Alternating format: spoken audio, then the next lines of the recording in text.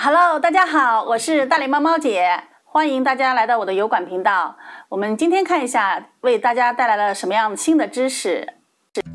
第二集，当然，当 BAT 成为巨头后，确实对带动当地的互联网氛围有非常大的作用。而上海缺少引以为傲的互联网公司，整个行业在吸引人才方面都会受到一定限制。上海缺少拼搏精神，过于追求生活品质，很多投资人和外地在沪创业的人认同这个理由。上海的小资文化和买办文化，上海本地人择业第一选择是进入外资企业，按时上下班，周末享受生活。互联网公司的快节奏、高强度工作，从底子里是。被抵制的，而上海又是个大熔炉，外地人进入上海很容易被这种工作生活方式所同化。上漂始终缺少类似北京北漂的拼搏精神，年轻人择业不首选互联网，大量上海的互联网创业者年龄超过三十岁。缺少破釜沉舟的气概和逢高继轨的吃苦精神，上海的创业成本高，这是大家公认的一个原因。上海的人均工资高，创业公司需要付出较高的代价才能找到人，而且上海人更看重眼前利益，不会为了遥遥无期的期权变现